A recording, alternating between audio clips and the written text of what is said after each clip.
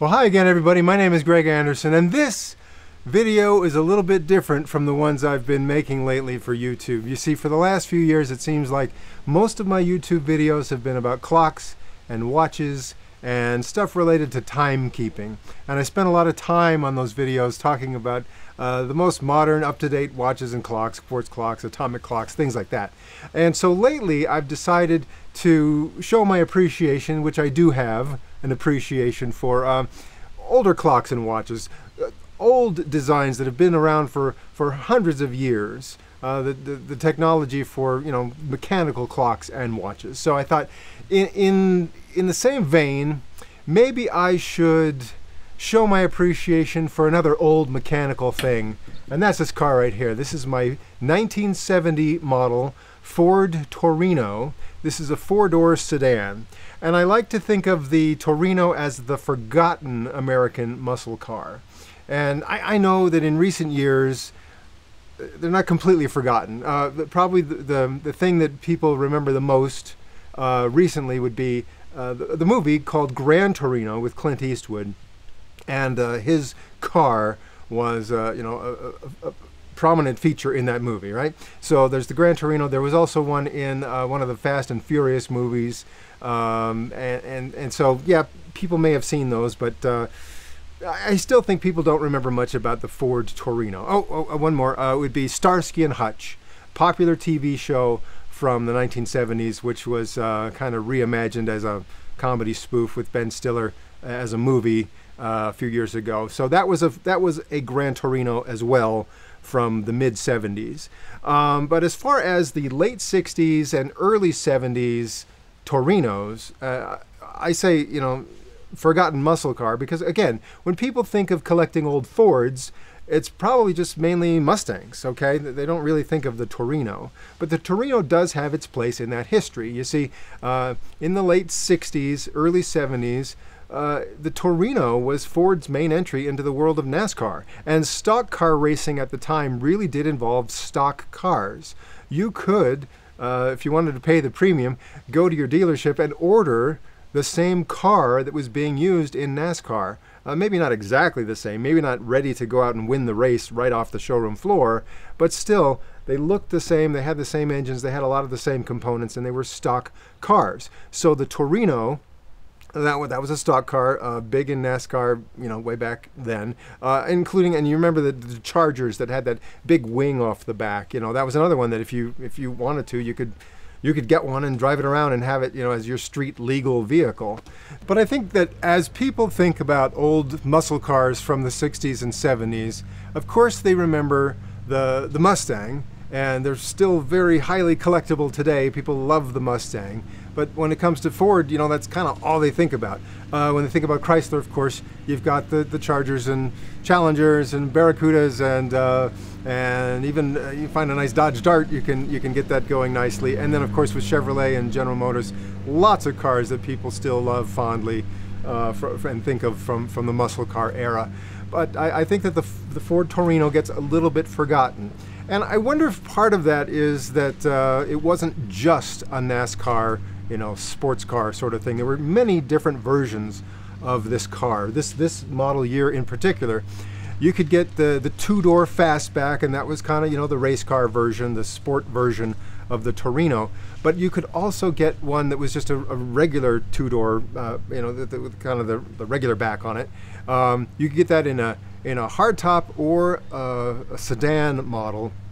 And basically the difference between the hardtop and the sedan was that if you open the door, there's a frame around the window on the sedan and there's also uh, you know a, piece of the structure of the car in between the front and rear window on the passenger side or the driver's side whereas with the hardtop it was it was open. You know if you open the door roll the window down there, there was nothing there uh, above the window. And uh, if you had both windows open, uh, front and back uh, side windows, there was an open space from that front of the window uh, all the way to the back of the back window, and that was a hardtop. So you had the two-door sedan, two-door hardtop, the four-door sedan, and the four-door hardtop.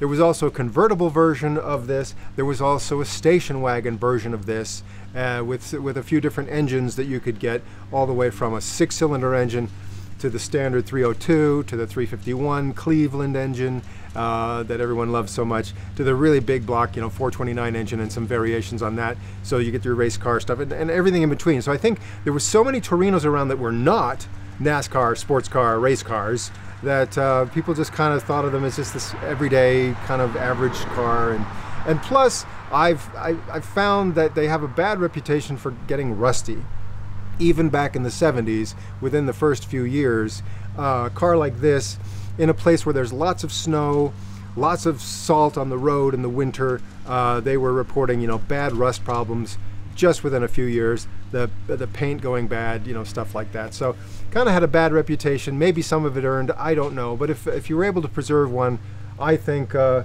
you know it's a charming, forgotten muscle car from the era. And so uh, the reason I am so fond of the Torino, this one in particular, is that my dad bought one. Not this one exactly, but one that looks an awful lot like it. He bought it new, uh, and that was 1970. That was 50 years ago, literally 50 years ago. It's hard for me to believe that this car is half a century old, but it is. So anyway, my dad, uh, my dad's Torino um, when we all were old enough to start driving and learn to drive and stuff, we, we you know we drove the Torino, and we knew that in many ways it was a high performance vehicle. Had a limited slip differential, uh, kind of some anti-sway bars, almost like a police package, almost. And that 351 Cleveland engine was quite a powerhouse for, for a car this size. And, and there were many teenage stunt drivers uh, in the area that I grew up. I think by the time I was learning to drive, um, I'd kind of had my fill of uh, riding along with the teenage stunt drivers. Uh, when I drove my dad's old Torino, uh, yeah, it, it was very rusty. It had been repainted sometimes, and uh, you know we, we did our best to keep it looking nice. But uh, I treated it very gently because I'd already seen its glory days, and while it was capable of, uh, you know, some some high performance stuff, still, I, I, I didn't really do that to it when I was driving, and I, I really appreciated it. However, that car um, did not last beyond my college years. By the my by the time middle of my college years, uh, you know, I was away and the car just sort of disappeared before I came back. So uh, I always missed that car, but uh, the, the thing was I was able to find another one. But now before I tell you that. Uh, a, a, little bit more about the history of the uh, Torino, and I want to take it back to the 1960s when Ford had a very popular car, the Falcon. Okay, and the Falcon, kind of like the Torino, uh, in its day, there was a two-door version, a four-door version, a station wagon version. I think there was a convertible version. There were a lot of different uh, variations on the Falcon. And in fact, uh, according to my research, the very first Mustangs were actually kind of repurposed Falcons. Uh, basically, you take uh, the drivetrain and, and, and, the basic structure of a Falcon and put a uh, you know a Mustang body on it, and that's kind of what the first Mustang was. Now, by the time the first major body style change happened for the 1967 year uh, Mustang, uh, that model year Mustang, uh, it, it, by then come into its own and, and, you know had its own specific designs and stuff as a as a, a really popular sports car. Uh, in the Ford lineup. So, uh, but but uh, the Falcon name lived on for just a few more years, and also there was a Ford Fairlane, and by you know like 1968 uh, model year, I believe it was, the Fairlane Torino was was an offering from uh, from Ford, and then they kind of phased out the Fairlane name and kept Torino. But uh, they were using that style of Torino in NASCAR racing uh, in the late 60s until uh, this body style came around in uh, the 1970 model year. And so by then, I think there were some maybe still that had this body style that were called Fairlane. I don't know. There was one more final blast for the for the Falcon. The 1970 and a half model year Falcon looked just like this. Uh, if you saw them from a distance, you could not tell the difference between the Falcon and Torino if, if it was that specific, you know, last iteration of the Falcon for the American market. So there you go. I think the Falcon kind of uh, was the ancestor of the Mustang as we know it, and the Mustang, of course, uh, for the next you know more than 50 years has really made its own identity out of that. The Fairlane also kind of was the uh, the forerunner of this Torino. Then in 1972, uh, let me, let me back up. This was the body style for 1970 and 1971, those model years. But it, the 1972 model year is when they introduced uh, the Grand Torino. There was still, in 72, there was a Torino and a Grand Torino. Uh, and uh, I don't know how different they were, other than you could tell by looking at the grill. The uh, Gran Torino had kind of a smaller grill and the headlights sort of separate, whereas the regular Torino had a grill that encom uh, encompassed the headlights as well. And so um, a lot of people remember, of course, Gran Torino as a kind of car. And I, you know, it, it's okay with me. I won't get too upset if you call my car, oh, look, he's got a Gran Torino. Um, all right, that, that's fine. I'm, I'm not going to get bugged by that. But technically, this is not a Gran Torino. There were no Gran Torinos before 1972. And even in 1972, some were Torinos, some were Grand Torinos. But uh, through the 70s, you know, the cars got bigger uh, due to um, emission control regulations. Uh, the engines became a little less powerful, even the same engine you know, running with all the emission control stuff added to it, a little less powerful. So the muscle car era sort of ended uh, in, in, by about 1973, 74 in there, you, you know. But uh, they still had the Starsky and Hutch style uh, Torino around, and they were still making the, the four-door and the station wagon versions of Torinos. They had, they came up with a Torino uh, a Brougham, I think it was kind of a lug. They tried to kind of make it a big luxury car, and then by you know 1977, 78, somewhere in there, they just kind of discontinued the whole thing, and the big American cars uh, with the big V8 engines were just kind of going going away at that point. Uh, so so that's kind of the history of this uh, this Torino. And then now, what about this specific car right here? So here's what happened. So uh, you know, years after I was done with college, and uh, you know, you just never saw Torinos anymore. People don't collect them, right? They collect Mustangs or or Chevys or Pontiacs or something, but they don't really nobody collects Torinos. Really, really, it's a very small group. I know someone out there is going, well, I have one. Okay, I'm going to talk to you in a second. Uh, but anyway, um, so uh, my brother and I, uh, he, he, he started it, started looking on eBay uh, to see what was out there, and we found this car on eBay, uh, through eBay. The car was in Baltimore, and uh, we, we managed to make a deal. I went out to Baltimore and bought this car from a nice young man out there and uh, brought it back home here. That was 15 years ago. And uh, at the time, I thought, wow, just amazing I was able to find one that old. Now, here it is 15 years later, and the car is literally 50 years old and still in great shape. I just took it out of long term storage a, a moment ago. Needs a little bit of attention, you know, but it's still in great shape and, uh, you know, unrestored. And I think I'm just going to kind of leave it as is and, uh, you know, enjoy it for what it is and, you know, just keep it nice and you know, see how much longer it, it can go. But uh, certainly not taking it out on the roads in the winter with snow and salt and anything like that. We're just gonna we're just gonna enjoy this, okay? Now, even though it needs a you know needs a little bit of loving care here and there, uh, I think that in in general, I can declare that this is probably one of the best, if not the best, four-door Torino of this particular body style uh, from this particular model year in existence in the whole world today. And I, I only I make that claim because it's such a non-collectible car. Okay, and if anyone does collect Torinos, they're going for the you know the the Cobra Jet version or Torino GT or something like that, or at least a two-door car. Sometimes the the uh, the station wagon, some people might think that's a novelty and they'll collect that. If there's a convertible version, certainly people would like that. But uh, as far as the four-door sedan, I'm telling you, I'll bet there are very, very few that still exist anywhere in the world. And of those that do exist, I'm tempted to uh, assume that this is the best, uh, the one that's in the best condition in all the world. And if I'm wrong, please, someone share with me pictures and videos and information about your uh, 1970 four-door sedan Ford Torino that's in uh, this kind of shape or better, let me know. I would love to find out about that. But in the meantime, I'll, I'll take good care of this one, and we'll, we'll see how, how much longer it goes. So uh, I'll make that claim. Best one in the world, and I hope I'm proven wrong, which will not diminish in any way how good this one is. but it'll it'll be nice to know you know who's got one that's better. Okay, so. Uh, I know that if, those of you who've been watching my uh, my my watch videos, and uh, the way I collect like Casio watches, you're probably saying, well, it's a good thing Casio doesn't make a car like this. it's, a good thing the, the Torino in 1970 was not made by Casio, because if it were, Greg would be the kind of guy who would uh, try to find another one uh, that looks just like it, except maybe it has a different color or something. And uh, that's the kind of that's the kind of uh, eccentric guy Greg is. And uh, all I can say to that is, I'm way ahead of you.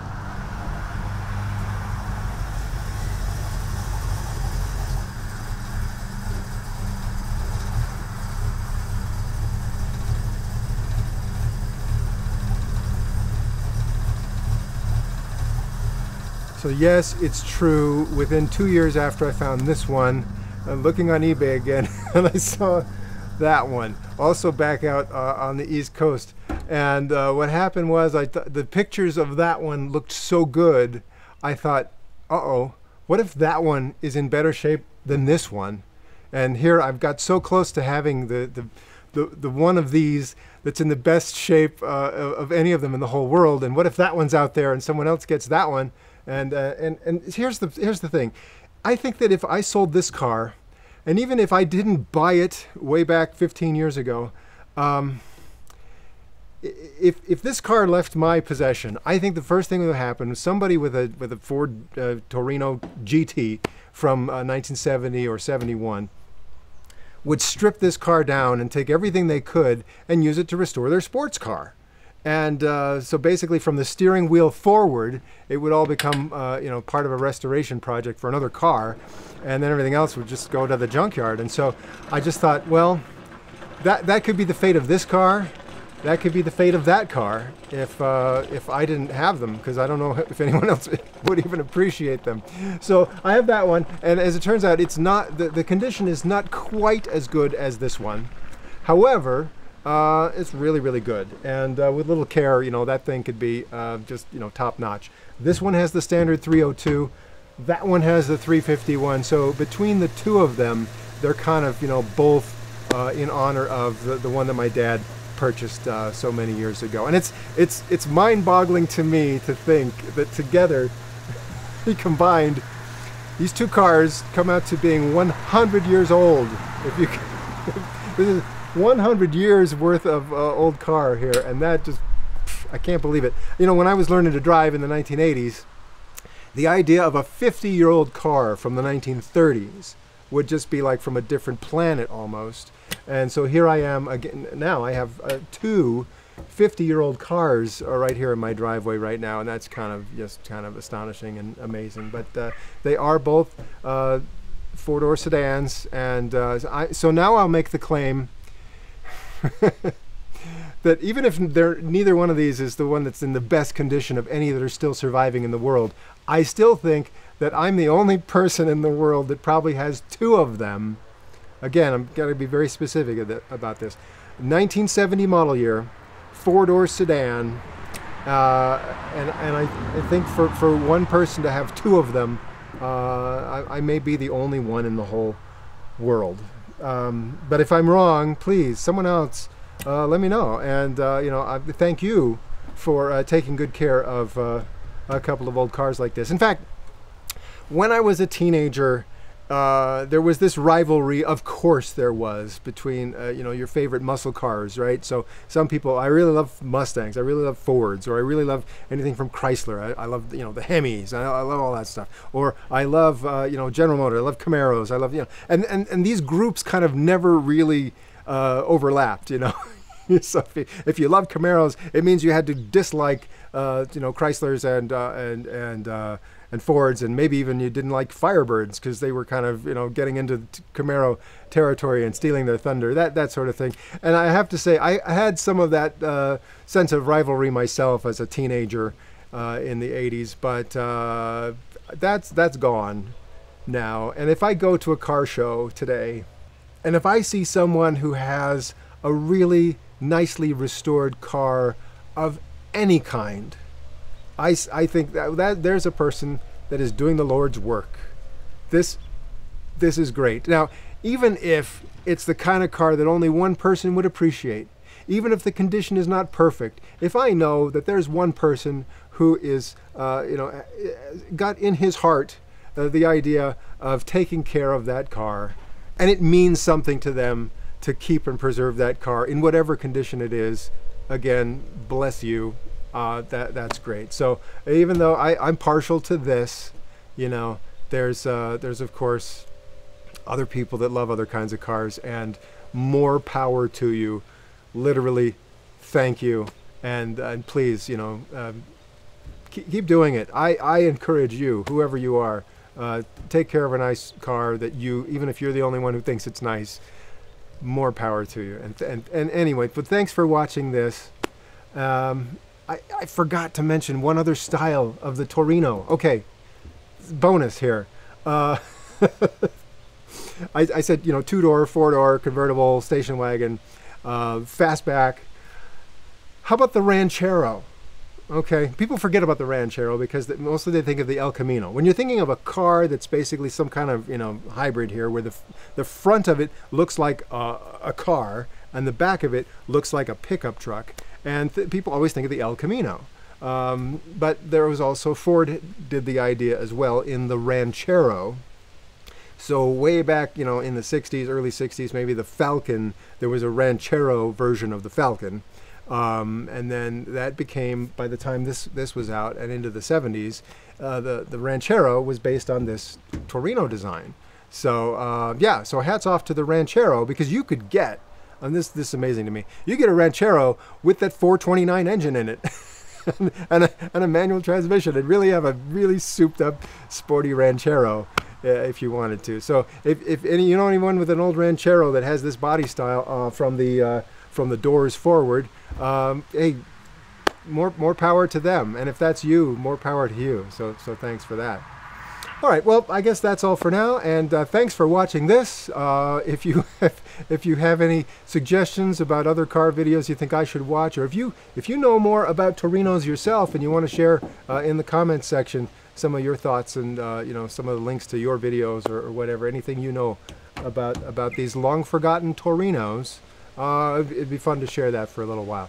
And uh, well, I'm, I'm going to make more videos coming up soon. Probably not a lot of videos about these cars, not yet. It's, it's getting to be winter, but uh, maybe maybe in the spring. And uh, of course, I've got my watch videos all over the place.